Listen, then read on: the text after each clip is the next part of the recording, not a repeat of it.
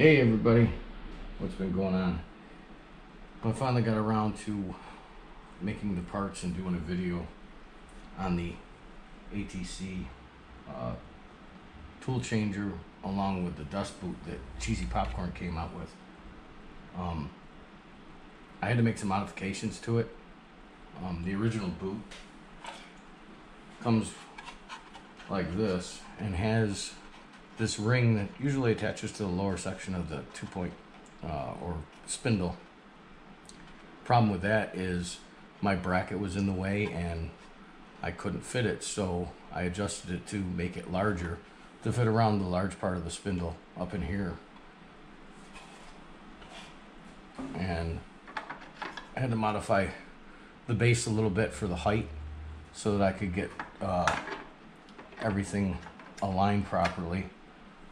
So one that it didn't hit here along the ATC when it was doing tool one or tool six and had to aug out some of the the base down here underneath and put a spacer in so that when the bit goes down and moves because it moves about 20 28 millimeters from the center um, when loading the uh, the dust boot. But everything works. The only thing that's missing is um, I'm waiting on some of the brushes to come to attach to this. I'll probably do a a small 30 millimeter and maybe a, a 40 millimeter that I can attach separately.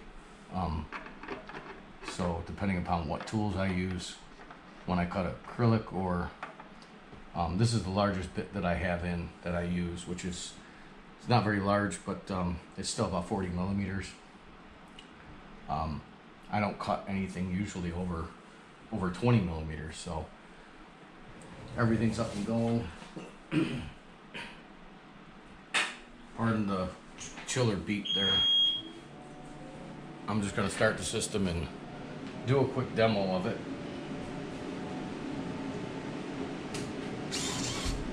The system is running FluidNC that I housed inside the box to the left there, which is an old computer case running a Xenon. And usually I use um, Universal G code sender. Um, so let's see, we'll get this homed first.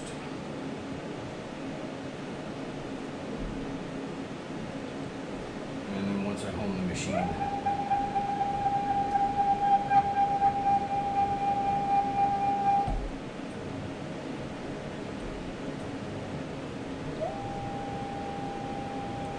Now I set up the the homing sequence on this. I set up to do the the Y first for clearances, um, just in case, so that nothing got in the way.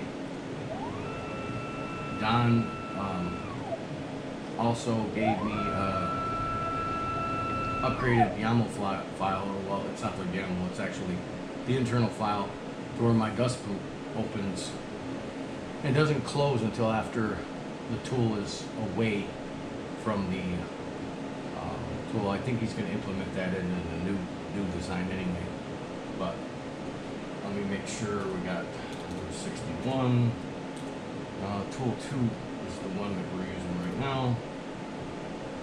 Let's do a tool change first. We'll go and pick up tool 1.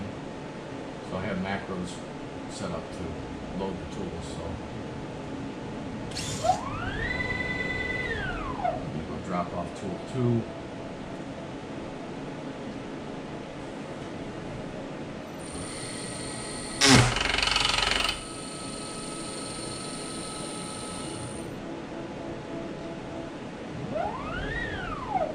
And it's gonna pick up tool one, which the clearance, if you notice for this right here, was very tight for being able to get lined up. So depending upon your application, that's going to determine your Z height, whether or not it'll it'll clear or not. Which is in, in a reference another height that you have to be worried about for this, which is it has to be lower. So if the tool comes over, it doesn't hit this. By the way, Cheesy Popcorn had it set up on his GitHub page. He had it set up to pick up the tool, or pick up the, excuse me, the dust dust shoe, um, which I'm gonna go ahead and do. Load the dust shoe. And this works off of G28 and G30. G28 is for the height, so that it zeroes the top, the topmost position, so it's clear.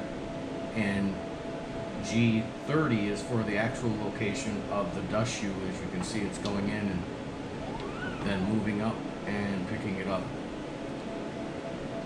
and moving it out of the way. And there's little macros that he has on his GitHub page. He also has a CPS file which uh, loads into your post processor for enabling. I haven't tried it yet. Um, I'm getting ready to do that so that I know if the post processor works properly with tool change. But it's a modded CPS file and it looks as it should work. He did a great job, Cheesy, um, on setting this all up. Um, other than having to mod the file, like I said, for the dust boot and everything else, it, it works. Works great. Um, now if we wanted to, shoe is loaded, we're gonna unload the shoe right now. It's gonna go down to the G30 coordinate. First it goes to G28, which is the topmost position, then it goes to G30. Once the brushes get on the base, it'll be a little bit more secure because it'll have a little more weight to it. But nice design. The only one drawback of the ATC is not having a dust boot. I'd rather sacrifice some of the space, especially on the table here, to have a dust boot than I would um, without one because it's it's just a mess. Otherwise, you have to put you'd have to put a whole enclosure around it um, with some other form um, to keep the mess down because the shavings get everywhere. But that's a little demo of the new dust boot. If anybody wants the files, the modded files, I know as long as you have the uh, uh, Wanu um, spindle, which is similar to the 80 millimeter spindle, this new design will fit, you know, any size, any 80 millimeter, and it can be adjusted up or down. So if you want the files or the adjusted files, um, the base is still the same, um, other than the height.